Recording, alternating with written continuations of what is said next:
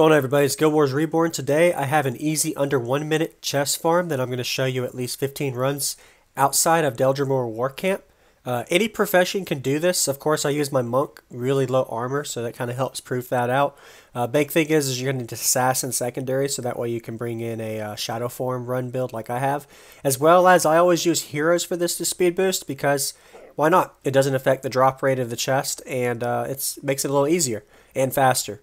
So Go ahead and hit that like button if you haven't already. Let me know if you want more videos like this. Uh, also have a playlist I'll put in the description for a full chest run playlist for you to check out all the videos I've made. There you go, just like that. Look at that. This was a really good spawn. So every run you do is different for this, but I felt like I needed to show y'all this video.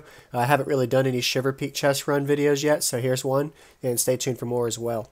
So I'm going to go ahead and show y'all at least 15 more runs, and uh, y'all enjoy this, and you get to see the different spawn rates. So the very best spawn rate is about what I just showed you for the first run. But going forward, you'll see the spawn rates can be anywhere from maybe around a 35 to 40 second run up to around a minute and 20 seconds. It just depends on the uh, luck of the draw.